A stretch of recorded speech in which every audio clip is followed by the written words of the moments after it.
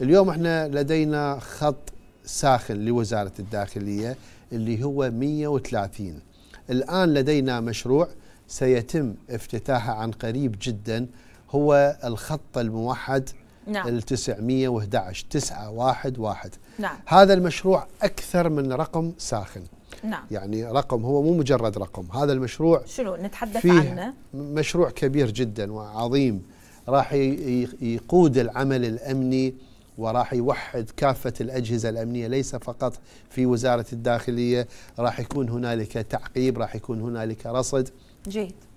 راح مجرد المواطن إذا يطلب النجدة راح يوجهوا له أقرب دورية إلى من خلال هذا الرقم من خلال. 911 نعم متصل بكل شيء بكاميرات بجي بي اس باتصالات بمشروع كبير جدا يعني منذ عام ونصف تعكف وزارة الداخلية على العمل مع بالتعاون مع كبار الشركات العالمية المتقدمة في المجال التقني، لذلك أعتقد هذا راح ينقل وزارة الداخلية إلى مرحلة جديدة من العمل الأمني.